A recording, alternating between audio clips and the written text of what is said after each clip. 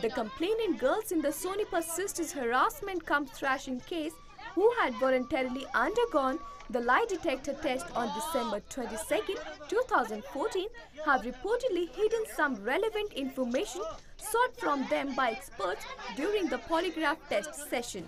According to the media reports, the accused of Asan village of Rohtak district who had undergone the same test on December 19 were almost transparent in their answers in response to the questions asked from them.